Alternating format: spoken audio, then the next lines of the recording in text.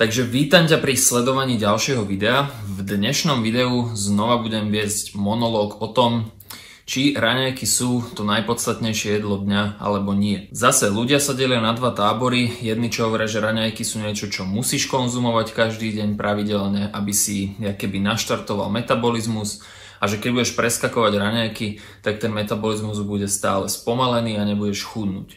Čiže pozrieme sa na to, čo hovoria štúdie a takisto vám poviem z mojej praxe, kedy mi pomohlo preskakovať raňajky a kedy zase raňajky nepreskakujem vôbec. Čiže pokiaľ sa ti videá tohto typu páčia, určite tam daj like, odoberaj kanál a ideme rovno na to.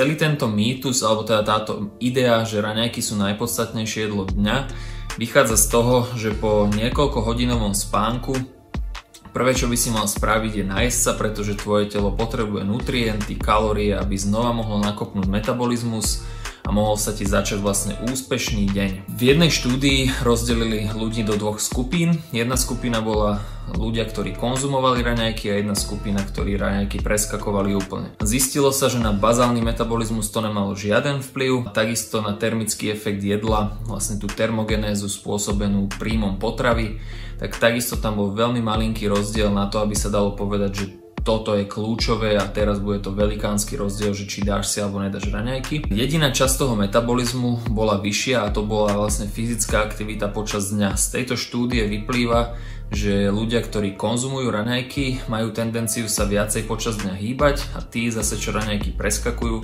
tak majú tendenciu sa hýbať menej. A je to akási taká kompenzácia tela, že teda keď príjmem viac kalórií počas dňa, tak viem sa viacej hýbať, keď ich príjmam menej, čiže som v nejakom väčšom deficite, tak to telo kompenzuje tým, že sa menej hýbeš počas dňa. O tom ty ani nemusíš vedieť, to sú proste malinké pohyby, ktoré bežne možno v živote ani nevnímaš. Treba na to však pozerať aj trošku z praktického hľadiska, to, že, ty, to, že tá skupina, ktorá konzumuje raňajky sa hýbe počas dňa o niečo viac, neznamená, že ten pohyb, ktorý vykonáva počas toho dňa, tie raňajky úplne kompletne spáli. Čiže dajme tomu, ty príjmeš 500 kalórií z raňajok a vlastne ten pohyb navyše, ktorý vykonávaš, bude 150, 160 kalórií, 200. Čiže stále si 300 kalórií v pluse oproti tým, čo síce budú sa hýbať menej, ale tie 500 kalóriové raňajky úplne preskočia. Čiže z praktického hľadiska tam velikánsky rozdiel v tomto nebude. To, či ty budeš konzumovať alebo nebudeš konzumovať raňajky, každý by si to mal prispôsobiť podľa toho, čo mu jeho telo akoby napoveda. Sú skupiny ľudí, ktorí sa ráno budia veľmi hladní, majú vysoký apetit hned od rána, tak kľudne nech si tie raňajky dajú keď vedia zmanažovať ten kalorický príjem počas celého dňa.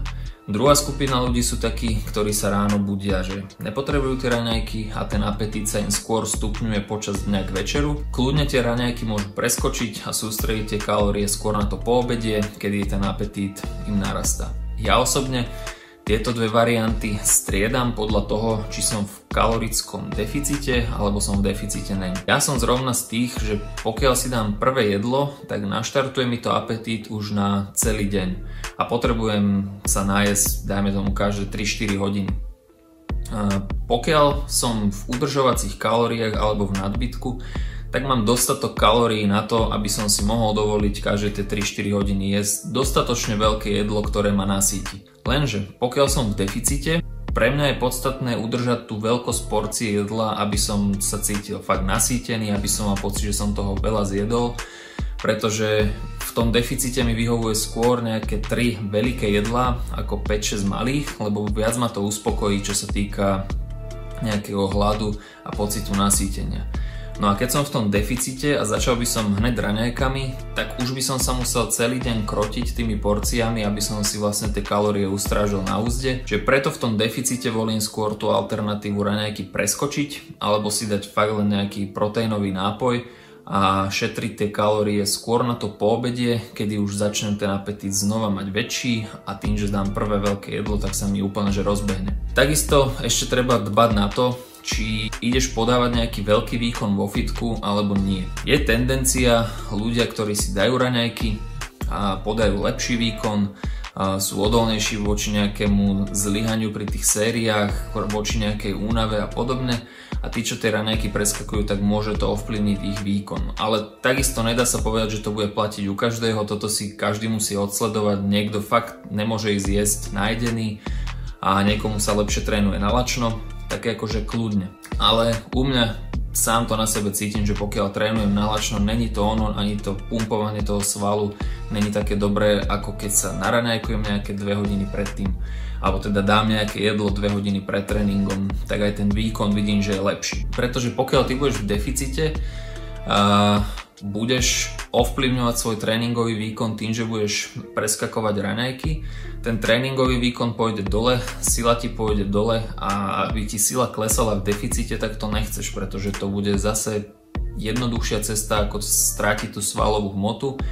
A práve, že pointa uh, deficitu silových tréningov je udržať čo najviac svalovej hmoty, pokiaľ chudneš tuk. Posledný bod, ktorému by som sa chcel vyjadriť, že až kam ďaleko môžeš posunúť to jedlo. Pre optimálnu nejakú tú proteosyntézu by si mal do seba vedieť vtlačiť nejaké, dajme tomu 3 až 5 jedál bohatých na bielkoviny, tak aby si tie bielkoviny z celého dňa naplnil tak, jak majú byť praktického hľadiska zrejme tam nebude veľký rozdiel, či tie bielkoviny príjmeš v 4 jedlách alebo v 6, pokiaľ ich príjmeš, ale nemalo by to byť niečo také pre optimálny svalový rast, o tom sa stále bavíme, pre optimálny a maximalizáciu toho svalového rastu, by to nemalo byť, že tie raňajky budeš posúvať až na nejakú tretiu hodinu po obede, tam si dáš jedno, dve jedlá za celý deň a končíš. Dve jedlá, aj keby si naplnil tie bielkoviny počas celého dňa, tak fajn, akože nič asi dramatické sa nestane, ale pokiaľ sa bavíme o maximalizácii svojho potenciálu, tak tie dve jedlá môj, podľa môjho názoru optimálne nebudú a mal by si tie raňajky posunúť len do takej doby, že budeš vedieť od tých raňajok ešte nejaké 3-4 jedla tam nabúchať. Na záver, či budeš konzumovať raňajky alebo nebudeš, záleží od osobných preferencií, čo sa týka manažovania kalórií počas celého dňa čo sa týka výkonu vo fitku, čiže aby si nepocitoval, že tie raňajky a preskakovanie raňajok negatívne ovplyvňuje tvoj výkon pri cvičení. A tretí bod je dbať na to, že pokiaľ chceš maximalizovať svoj potenciál, tak neposúvať tie raňajky až na nejakú neskorú poobednú hodinu kvôli tomu, aby si vedel napratať minimálne tie 3-4 jedlá bohaté na bielkoviny do svojho celodenného príjmu. Takže to by bolo k videu o raňajkách všetko. Pokiaľ sa ti videá tohto typu páčia, nezabudni tam dať like, odoberať kanál, aby ti neunikli ďalšie nové videá a vidíme sa čoskoro v ďalšom.